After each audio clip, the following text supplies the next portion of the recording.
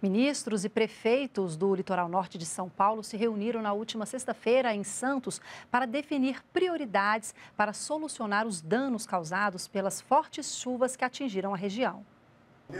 Prefeitos de 12 cidades da Baixada Santista e do Vale do Ribeira, no litoral de São Paulo, apresentaram aos ministros um balanço dos danos causados pelas fortes chuvas e apresentaram também demandas para as áreas de risco. Para o prefeito de Guarujá, recurso para reconstrução de habitações é o principal pedido.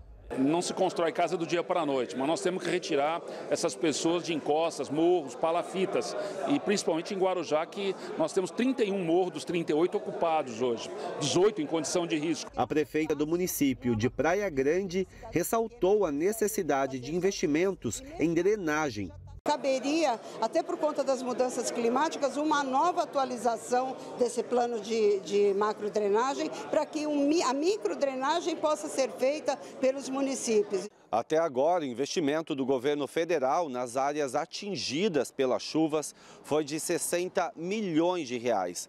E mais recursos serão destinados, principalmente para evitar novas tragédias. O ministro Márcio França explicou que as demandas serão direcionadas a cada ministério envolvido. Daqui a 15 dias, todos os prefeitos, com os deputados que estavam aqui presentes e outros assessores, eles irão a Brasília para a gente fazer um checklist de tudo que eles pediram e, foi, e, e, e, nesse instante pleitearam. O ministro Valdez Góes enfatizou a necessidade do país estar preparado para as consequências das mudanças climáticas. A gente vai aprimorar cada vez mais a questão do monitoramento, é, pactuar isso com todos os níveis né, de poder, estruturar sistema de alerta é necessário também presente na reunião, a ministra Sônia Guajajara visitou as comunidades indígenas do litoral. Nós viemos aqui para acompanhar em loco,